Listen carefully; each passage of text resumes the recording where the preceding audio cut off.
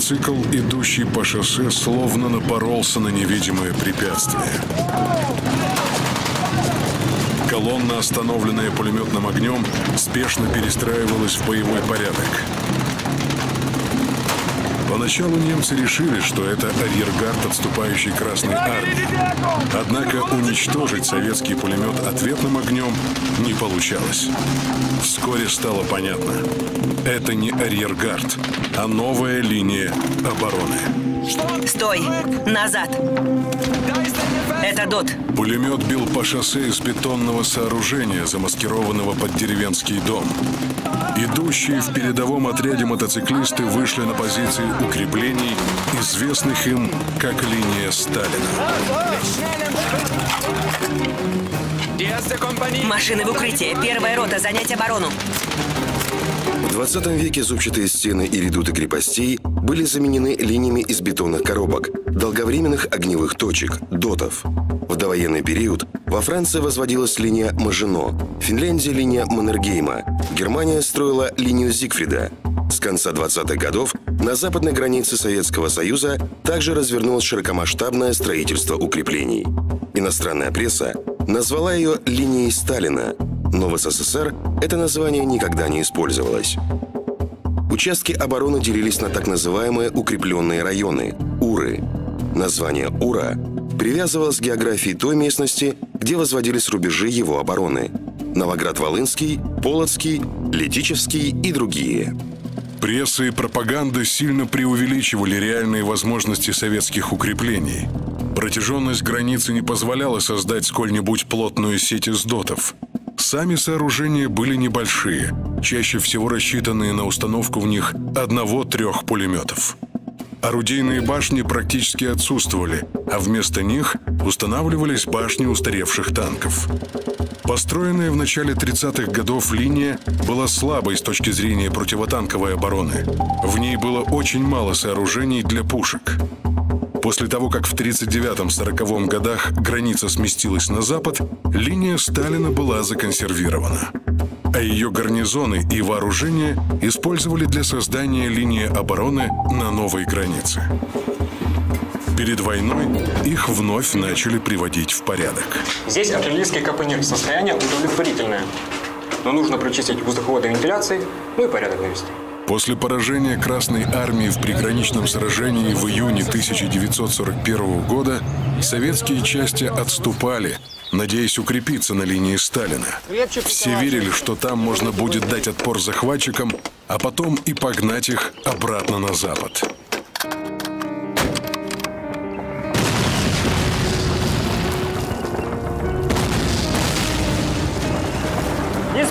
Соков, не спи, давай! Первое орудие по головному танку. Дальность 600, бронебойный, огонь!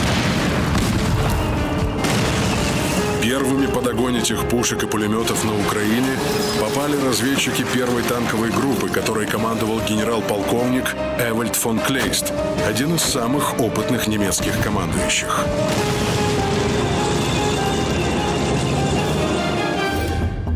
Эвальд фон Клейст, генерал-фельдмаршал. В 1941 ему исполнилось 60 лет. Первым в вермахте возглавил объединение, получившее наименование «Танковая группа». Весной 1940-го во Франции его войска прорвались через продолжение линии Мажино под Седаном и ударом к Ла-Маншу окружили крупные силы союзников под Дюнкерком. В 1945-м арестован американцами и передан СССР. Военной коллегии Верховного суда СССР приговорен к 25 годам заключения. Умер в плену. Столкновение с линией Сталина не обескуражило Клейста. Германская армия еще в годы Первой мировой войны отработала тактику взлома укрепленных полос штурмовыми группами. Со временем эта тактика была усовершенствована. Справка. Штурмовые группы состояли из небольших отрядов пехоты, усиленных саперами и легкой артиллерией. Во время боя группы просачивались вглубь обороны, подбираясь вплотную к дотам. Далее следовал выстрел пушки по входной двери или подрыв крупного заряда взрывчатки. А затем струя пламени из огнемета. У защитников ДОТа не было шансов уцелеть. Танки Клейста вышли к линии Сталина сразу в нескольких местах. На киевском направлении ожесточенные бои в Новоград-Волынском укрепрайоне шли трое суток. Он строился в 32-38 годах. Общая протяженность 120 километров. В основном передний край проходил по восточному берегу реки Случ. Укрепрайон имел 182 пулеметных и 17 артиллерийских дотов из истории 14-й танковой дивизии Вермахта. Из-за мощного заградительного огня из дотов и бомбовых ударов авиации наступление не могло продвигаться вперед. После налета пикирующих бомбардировщиков наши штурмовые группы выходили на рубеж атаки дотов с огромными потерями и пытались уничтожить каждый дот отдельно. К вечеру удалось наконец взять первый дот. Потери были высоки. В каждой роте погибло примерно по 40 человек. С большим трудом немцы пробились сквозь укрепления и к 8 июля вырвались на Житомирское шоссе. Находящийся южнее Остропольский укрепрайон, который также прикрывал путь к столице Украины, был взломан немецкими танками у местечка Любар. Из истории 16-й танковой дивизии Вермахта. Блиндажи и бункеры русских были частично замаскированы под безобидные крестьянские лачуги и сараи и неожиданно открывали огонь. Полевые орудия неприятеля стреляли в борт наступающим танкам. Эти укрепления пали только под огнем тяжелых немецких орудий. После использования 210 миллиметровых мортир удалось сломить противника. Вклинение танков предотвратило повторное стягивание боевых порядков противника по оборонительной линии. Около полудня был подавлен последний очаг сопротивления. От Любора и Нового Мирополя немцы вышли к Бердичеву. Надежда удержать немецкое наступление на линии старой границы рухнули. Уже через четыре дня танки Клейста оказались восточнее линии Сталина. Когда о первом прорыве Уров на старой границе доложили командующему Юго-Западным фронтом Михаилу Кирпоносу, тот с горечью сказал «Дорого нам обойдется этот прорыв». Михаил Петрович Кирпонос, генерал-полковник, отличился во время Советско-финской войны, получив звание Героя Советского Союза. Командовал корпусом, затем Ленинградским округом. В начале 41-го стал командующим войсками Киевского особого военного округа. Человек деятельный и энергичный, но его неопытность и быстрый взлет неизбежно оказывали воздействие на взаимоотношения с руководством. Утром 9 июля части группы Клейста вышли к Житомиру. В разговоре с Берлином начальник штаба группы армии «Юг» докладывал. Необходимо сделать попытку внезапного захвата Киева силами третьего моторизованного корпуса. Гитлер, напротив, требовал поворота на юг и окружения главных сил Красной Армии на правобережной Украине. Таким образом, Клейст шел на Киев на свой страх и риск.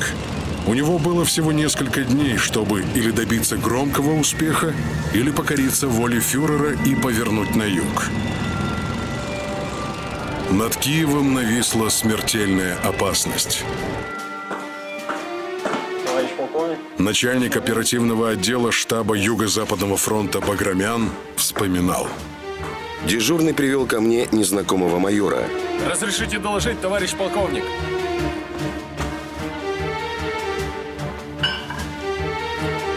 Меня донесение. Немецкие танки у Житомира.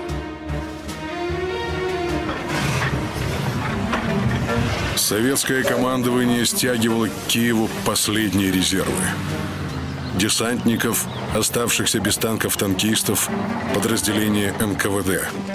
В Киеве выгружались части, не успевшие занять оборону на линии Сталина.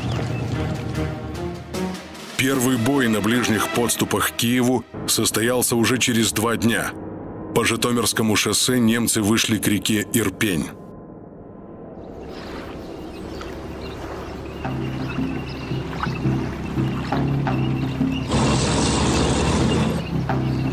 Подходят.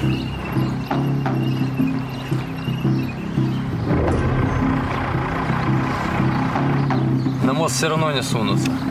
Побоятся. Давай. Отменяется.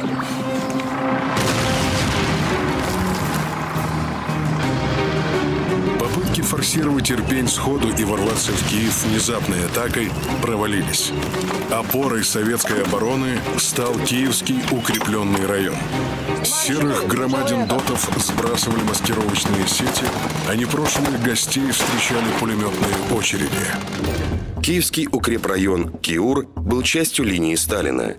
Здесь на фронте на протяжении 80 километров было около 250 сооружений разных типов, в том числе три артиллерийских полукапонира. Рубеж обороны проходил большей частью по берегу реки Ирпень. Она стала естественным противотанковым рвом. В начале войны доты дополнили окопами и противотанковыми рвами. Атака города танковыми дивизиями не обещала немцам быстрого успеха. Пехота шагала в маршевых колоннах где-то далеко позади. Без ее помощи танки Клейста могли навсегда остаться у стен Киева. Не скрывая досады, командование группы армий «Юг» подчинилось приказам из Берлина, повернув в направлении южнее Киева. Белесый дым окутал советские позиции непроницаемым туманом. Скрытые дымовой завесой немецкие пехотинцы незаметно подбирались вплотную к дотам и блокировали их. Вслед за штурмовой группой на передний край Ура ворвались штурмовые орудия. 15 июля очередной целью немецкого наступления стал Летичевский укрепрайон, прикрывавший подступы к Виннице. Справка. Инициатором создания штурмовых орудий стал будущий фельдмаршал Эрих фон Манштейн. В 1935-м он направил начальнику генштаба записку, в которой говорилось Штурмовая артиллерия действует в составе пехоты. Она не атакует как танк, не занимается прорывом, но поддерживает продвижение пехоты, уничтожая наиболее опасные цели. В отличие от танков, она не действует большим количеством, а обычно применяется в составе взвода. Орудие должно быть способно всего несколькими выстрелами выводить из строя вражеские пулеметные точки. В 1940 году в составе немецкой армии появились штурмовые орудия «Штурмгешütz» «Штюк-3». Они представляли собой шасси танка ПЗ-3 с установленной на нем короткой 75 миллиметровой пушкой. Их отличал приземистый силуэт и более толстая, чем у танков броня. В лоб они были практически неуязвимы для советских 45 миллиметровых противотанковых пушек. Эти части относились не к танковым войскам, а к артиллерии и занимались исключительно поддержкой пехоты. Они могли вплотную приближаться к дотам и расстреливать их амбразуры. «Штюк-3» к 1945 году стали самым массовым по численности представителем бронетехники вермахта. Однако в начале войны количество их на советско-германском фронте было ограничено. Летичевский УР строился в начале 30-х годов. Его длина составляла около 125 километров. Было построено 340 пулеметных и 7 артиллерийских дотов. Третий! Подсоби огнем! У меня тоже одни пулеметы! Третий! Третий! Как понял? Снаряды на исходе! Но огнем поддержим! Было сделано всего 10 выстрелов, которые не могли нанести серьезного ущерба немецким штурмовым группам. Доты расстреливались немецкой артиллерией, штурмовыми орудиями и подрывались мощными зарядами взрывчатки. Из истории 4-й немецкой горно-егерской дивизии. После трехчасовой артиллерийской подготовки вступили в бой ударные группы горной пехоты и инженерно-саперные отряды. Уничтожались бункеры и блиндажи, захватывались цели. В 21.30 задача дня была выполнена на всех участках. Пробитая в обороне брешь делала практически бесполезной дальнейшую оборону. Линия старой границы была оставлена, и советские части продолжили отход на восток. Прорыв обороны Летичевского УРА вызвал серьезное беспокойство советского командования. В начале первого ночи 18 июля командующий юго-западного направления Семен Михайлович Буденный направил в Ставку ВГК доклад, в котором дал удивительно точную оценку обстановки. Маршал сформулировал вполне осмысленный план дальнейших действий. Первое. Восстановить положение, бывшее до начала основного прорыва с наличными силами фронта, не представляется возможным. Второе. Дальнейшее сопротивление 6 и 12 армий на занимаемых рубежах может повлечь в ближайшие 1-2 дня их окружение и уничтожение по частям. Буденный Семен Михайлович, маршал Советского Союза, участник русско-японской и Первой мировой войн, человек редкой храбрости. Во время гражданской войны командовал Первой конной армией. Перед началом Второй мировой войны отмечал важную роль кавалерии в маневренной войне, в то же время выступая за техническое перевооружение армии. Инициировал формирование конно-механизированных соединений, сыгравших важную роль в ходе войны. Буденный просил ставку ВГК дать разрешение на отвод двух армий, и через несколько часов оно было получено. Шестая и двенадцатая армии должны были отойти ближе к Днепру, в район Белой Церкви. Поначалу отход на восток проходил успешно и организованно. Василий, видишь эту метку? Командир первой горно-егерской дивизии немцев Хуберт Ланс. Не в силах сделать что-либо, мы можем только наблюдать, как бурые колонны отрываются от нас и уходят на восток. Начальник немецкого генерального штаба Франц Гальдер. Противник снова нашел способ вывести свои войска из-под угрозы наметившегося окружения. Это яростные контратаки против наших передовых отрядов и большое искусство, с каким он выводит свои войска из угрожаемых районов. Но прорыв первой танковой группы немцев к Киеву и Бердичеву стал роковым для 6-й и 12-й армий. Повинуясь приказу фюрера о повороте на юг, немецкие танковые дивизии ударили во фланг и тыл двум отходящим на восток армиям. 3 августа 1941 года кольцо в районе Умани замкнулось. В окружение попали около 100 тысяч человек. Бои в районе села Подвысокое продолжались до 15 августа. Вырваться удалось немногим. В плену оказались командующие 6 и 12 армией генералы Музыченко и Понеделин, командиры корпусов. Большинство пленных солдат и офицеров погибли от голода и болезней в так называемой Уманской яме, одном из первых концентрационных лагерей на территории СССР. Понеделин Павел Григорьевич, генерал-майор, командующий 12-й армией. После пленения генералов Понеделина и Кириллова сфотографировали рядом с немецкими офицерами, а листовки с фотографиями разбрасывали в расположение советских частей. Освобожден из плена в 1945 году. До 1950 года находился под следствием. Был обвинен в нарушении воинской присяги и расстрелян. Музыченко Иван Николаевич, генерал-лейтенант, командующий 6-й армией. Раненым попал в плен. Освобожден в 1945 году. Проходил проверку в НКВД. 31 декабря 1945 года возвращен в ряды советской армии. В 1947 году окончил высшие академические курсы при военной академии Генштаба. После Умани дивизии первой танковой группы разошлись веером до самого Черного моря. В Николаеве трофеями немецких войск стали недостроенные корабли советского Большого флота, линейный корабль, крейсер и две подводные лодки. Немецкие танкисты с любопытством осматривали циклопические сооружения верфей, лес кранов, завалившиеся на бок, словно выброшенные на берег гигантские рыбины подводные лодки. И только их командующий фон Клейст задавался риторическим вопросом – а что мы здесь делаем? Намотанные на гусеницы километры, оставленные по дороге могилы и остовы танков все дальше отодвигали немецкие войска от главной цели кампании – захвата Москвы. Затишье под Киевом длилось недолго. К концу июля 1941 года, после долгого пешего марша, к городу подошла пехота немецкой 6-й армии. В ее распоряжении имелась тяжелая артиллерия, огнеметы и штурмовые орудия. Мощный удар по обороне города последовал уже 30 июля. Шестая армия атаковала Киевский укрепрайон с юга в обход рубежа на реке Ирпень. Под натиском вражеской пехоты стрелковые части отступили. Многие доты оказались в окружении. Их гарнизоны остались на своем посту, прикрывая отход и надеясь на восстановление линии фронта.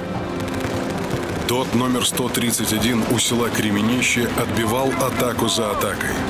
Командовал отважным гарнизоном лейтенант Якунин. Офицерское звание ему было присвоено накануне 13 июня 1941 года. Внимание! До взрыва 5 секунд. Гранаты к бою. В конце концов, немецкая штурмовая группа подорвала дверь и заднюю амбразуру ДОТа. Затем был взорван люк, ведущий на нижний этаж. Весь гарнизон погиб. Соседний ДОТ номер 127 оборонялся три дня, мешая немцам форсировать реку по дамбе. Его пулеметы замолчали только когда закончились патроны. Взорвав дверь, немцы извлекли из дота пятерых защитников, трое из которых еще были живы. Бросив в грузовик, их увезли.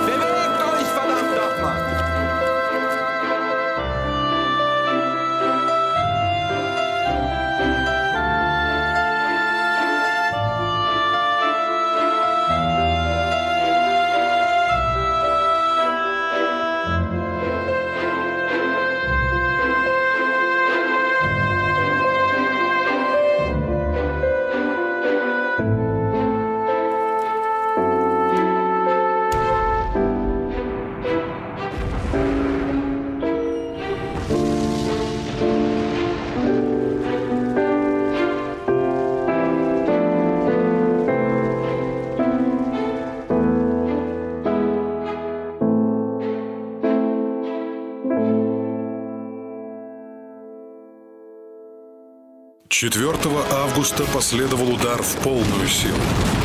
После мощной артподготовки немецкие пехотинцы атаковали в сопровождении штурмовых орудий. На левом фланге восточнее Виты Почтовой немцы блокировали три дота и один дот разрушили. 5 августа немецкие соединения вышли ко второй линии Ура. Этот успех стоил им дорого. Из дневника Франца Гальтера. У Киева войска группы армии Юг несут большие потери. Шестая армия ежедневно теряет до 1600 человек.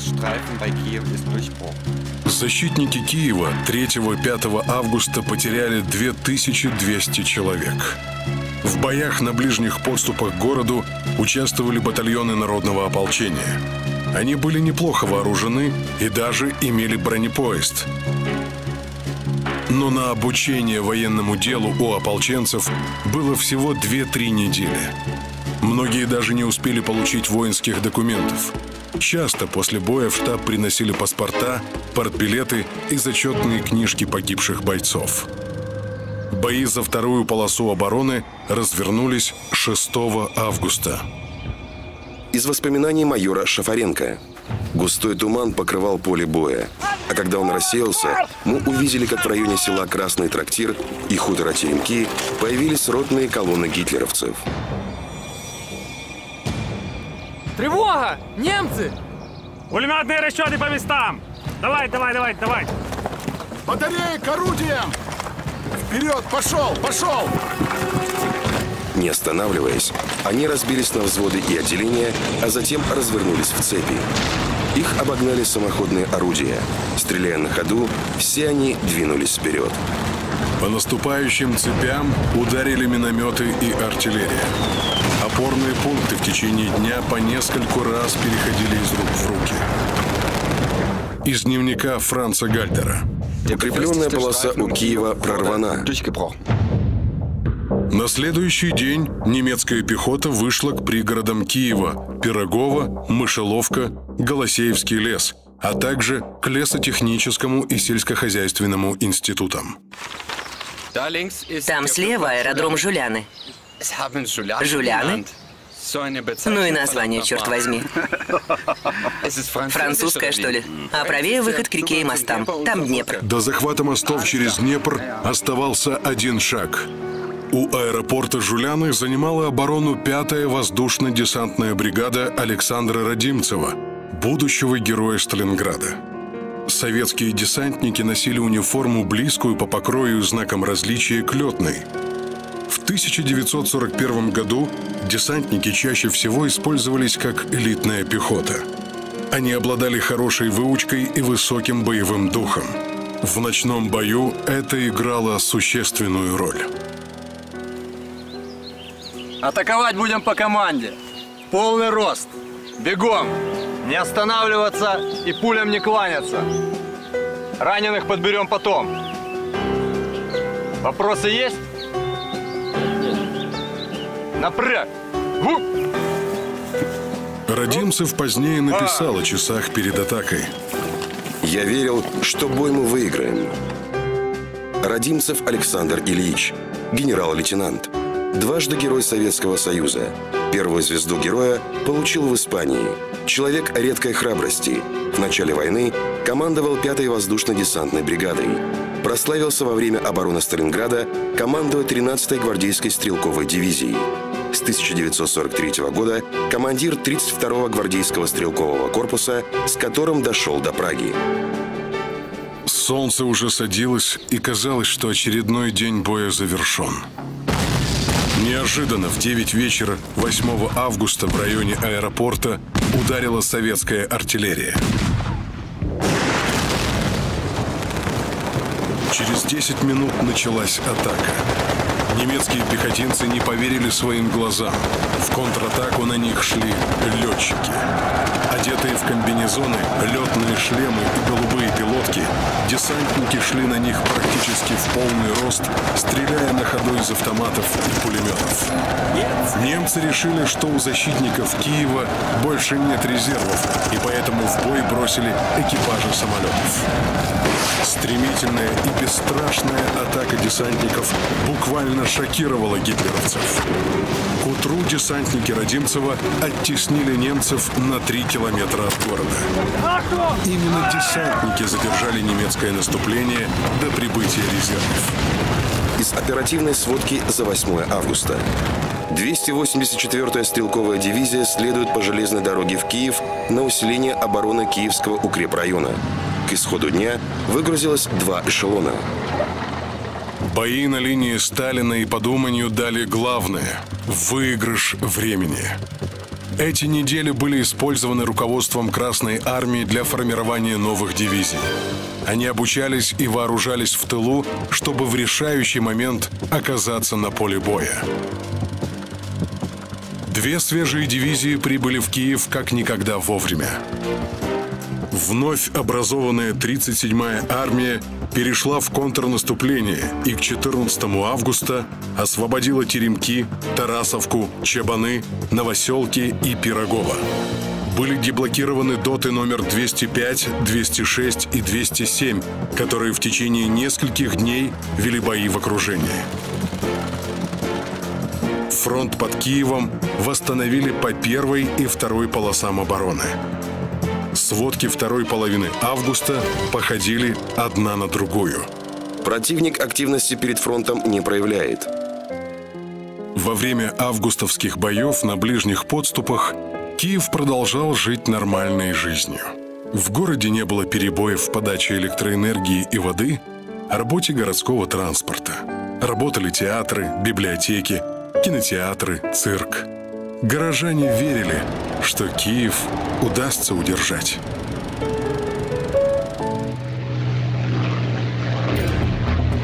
Транспортный «Юнкерс» заходил на посадку на строго засекреченный аэродром под Летсоном в Восточной Пруссии.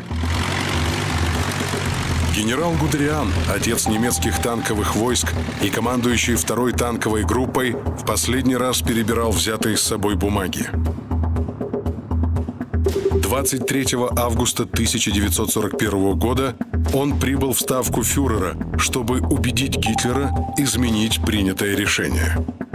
Незадолго до этого фюрер приказал наступать в первую очередь не на Москву, а на Украину и Крым. Сменить стратегию Барбароссы Гитлера заставило упорное сопротивление советских войск на Украине, из-за которого образовался гигантский балкон на фланге группы армий «Центр».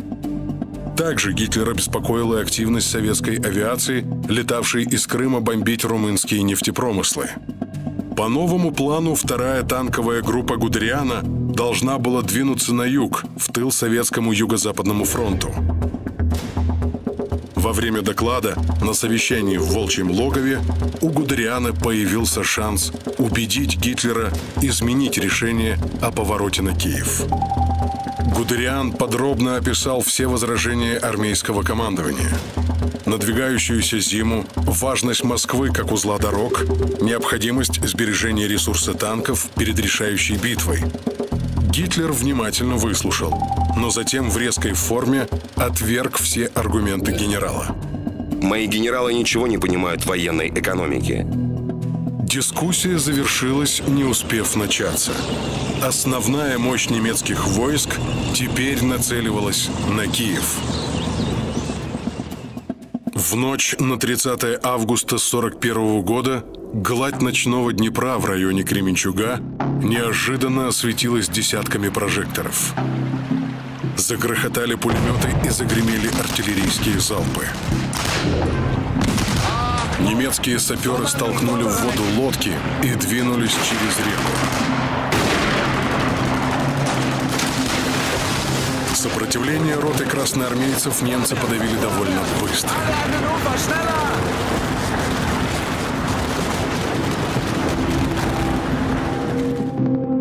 На берегу Днепра они заняли плацдарм, получивший наименование Кременчугского.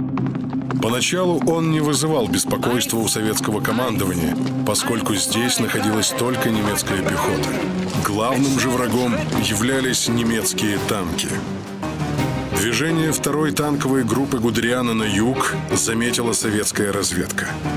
Ставка решила сдержать его фланговыми ударами Брянского фронта генерала Еременко. Но попытки остановить движение Гудериана на юг ничего не дали. У Еременко имелась всего одна танковая дивизия. Добиться решительного результата только пехотой он не мог.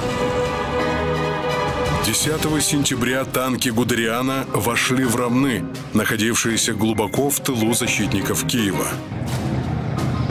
Командование Юго-Западного фронта запросило разрешение на отход.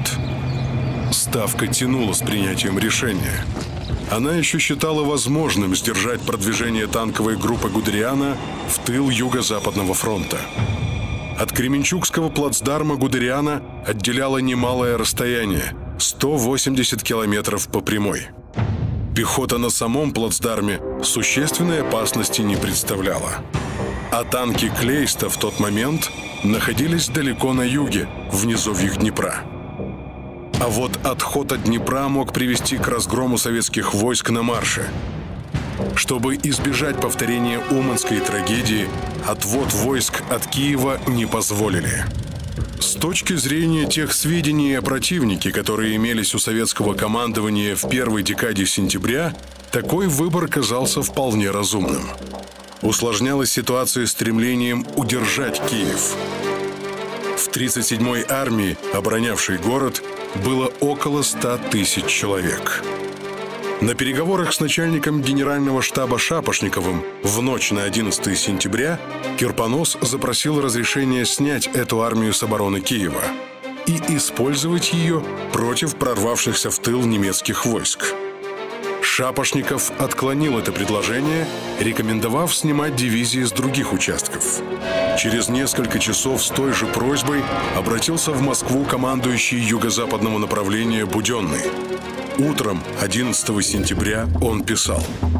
К данному времени полностью обозначили замыслы противника по охвату и окружению Юго-Западного фронта с направления Новгород-Северский и Кременчуг. Буденный предлагал или отвод всех войск на восток, или оставление Киева с высвобождением сил из Киевского укрепрайона. Однако Верховному командованию все еще казалось, что положение можно исправить без сдачи Киева врагу. В этот же день, 11 сентября, состоялся разговор между командованием Юго-Западного фронта и Сталиным. Сталин напомнил Кирпоносу о катастрофе по Думанью. Ваше предложение об отводе войск на рубеж реки Псел мне кажется опасным. Если обратиться к недавнему прошлому, то у вас был более серьезный рубеж – река Днепр. И несмотря на это, при отводе войск потеряли две армии, а противник на плечах бегущих войск переправился на другой день на восточный берег Днепра. Какая гарантия, что то же самое не повторится теперь? Позднее появилась легенда, что Сталин проявил упрямство и стремился удержать Киев любой ценой. Это не так. Он лишь ставил условием отхода организацию обороны на рубеже реки Псел и контрудары по наступающим войскам Гудериана. Приказ звучал однозначно. Киева не оставлять и мостов не взрывать без разрешения Ставки. Буденного, который твердо отстаивал идею отхода, отстранили от должности главкома, назначив на его место маршала Тимошенко. Фронту выделялись резервы, но их численность была куда меньше 100 тысяч человек, которая дала бы сдача Киева. Немецкие танки один за другим въезжали на шаткий настил понтонного моста. За пеленой дождя не было видно противоположного берега. Гигантскому двухкилометровому наплавному мосту через Днепр под Кременчугом вышли основные силы первой танковой группы Клейста. Советская разведка просто не успела отследить этот быстрый бросок немецких танков с юга. Переправа продолжалась всю ночь. А с первыми лучами солнца танки Клейста перешли в наступление. Советское командование готовилось отражать угрозу с севера, однако смертельный удар последовал с юга. Быстрый прорыв первой танковой группы навстречу второй шокировал советское командование. Вечером 13 сентября начальник штаба Юго-Западного фронта генерал-майор Тупиков отправил сводку с тягостной картиной происходившего. Прорвавшемуся на Ромны Лохвица противнику пока кроме местных гарнизонных истребительных отрядов ничто не противопоставлено, и продвижение идет без сопротивления. Начало понятной вам катастрофы – дело пара дней. Кирпонос вновь предложил оставить Киевский укрепрайон, чтобы ликвидировать угрозу окружения. Шапошников колебался. Считаю, что мираж окружения охватывает прежде всего военный совет Юго-Западного фронта, а затем командующего 37-й армии. А окружение из миража превратилось в реальность. 14 сентября после проливных дождей установилась ясная и солнечная погода. В 18.20 у Лохвицы встретились передовые отряды двух немецких танковых групп. Согласно подсчетам штаба Юго-Западного фронта, в окружение попали 532 тысячи советских солдат.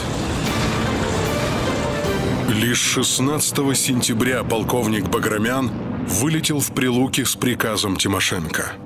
Создавшейся обстановке единственно целесообразным решением для войск Юго-Западного фронта считаю организованный отход – Кирпоносу так долго запрещали отходить, что, получив долгожданный приказ, он первым делом усомнился в нем, потребовав письменное распоряжение. Баграмян ответил, что маршал приказал передать приказ устно. Оставлять Киев без письменного приказа Кирпонос отказался. Но остальные армии получили немедленный приказ на отход.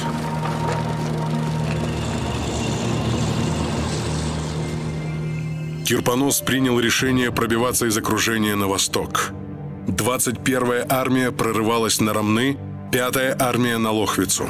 37-я армия после выхода из Киевского укрепрайона должна была действовать во втором эшелоне 5-й армии. 26-я армия двигалась на Лубны. Разрешение на оставление Киева Ставка дала 17 сентября в 23 часа 40 минут. На следующий день двинулся на восток штаб фронта. В ночь на 19 сентября части 37-й армии отступили из Киева и отошли на восточный берег Днепра. Командир 4-й дивизии войск НКВД полковник Мажирин. День 19 сентября выдался на удивление солнечным и теплым. Часов в 11 утра фашисты открыли ураганный огонь по юго-западным окраинам города и двинулись к мостам. Сигнал! И мы со своего командного пункта увидели столбы огня и дыма над железнодорожным мостом. Взлетел на воздух Дарницкий мост. Облитый смолой и бензином, вспыхнул деревянный Новодницкий мост. После взрыва мостов 37-я армия двинулась к Яготину. Но организованного прорыва не получилось. С 16 по 20 сентября произошло расчленение войск Юго-Западного фронта на несколько очагов сопротивления. К 20 сентября их образовалось шесть. Части 26-й армии в 20-30 километрах к северо-востоку от города Золотоноша. Войска держались до 24 сентября в районе Оржицы.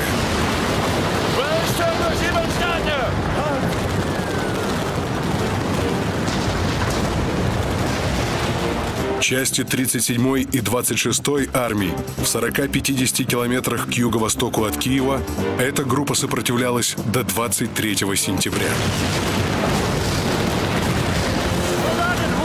Два очага части 5-й 21-й армии вели борьбу до 23 сентября к юго-востоку и востоку от Перятина. Подразделения 37-й армии в 10-15 километрах к северо-востоку от Киева продержались до 21 сентября. Подразделения 37-й армии в районе Яготина сумели продержаться в кольце до 26 сентября.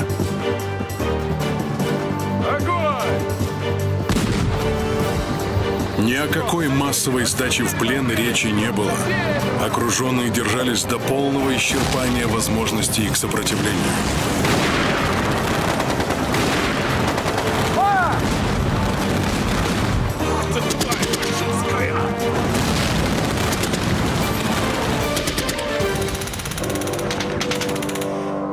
От силового прорыва вскоре пришлось перейти к просачиванию. Из воспоминаний Баграмяна. Немцы весьма выгодно для себя использовали болотистую долину реки Сула.